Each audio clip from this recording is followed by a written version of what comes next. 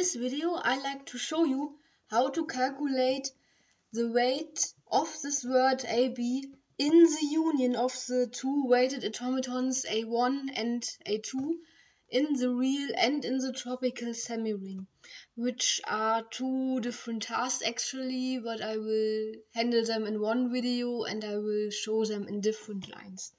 And as always, the main, the, um, the main point you want to remember about this video is how to use and understand this definition. So, this definition says we need the weight of the word in the first automaton.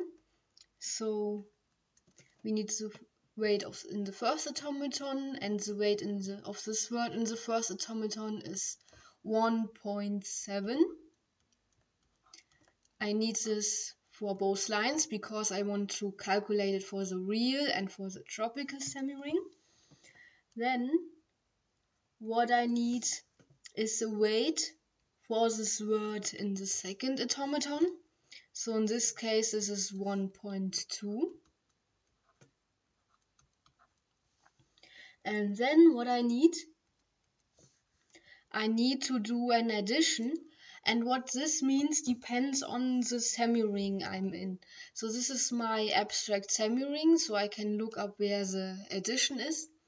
The addition in the real semi-ring, also at the second position, is the addition.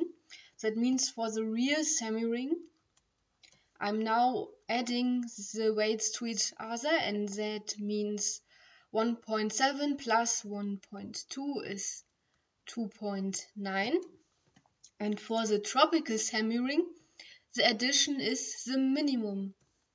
So for the tropical semi-ring I'm taking the minimum of those weights and that is well the lowest weight of both of them is 1.2 and now I have the weights for this word in the union of the two weighted automatons for both the real and the tropical semi-ring.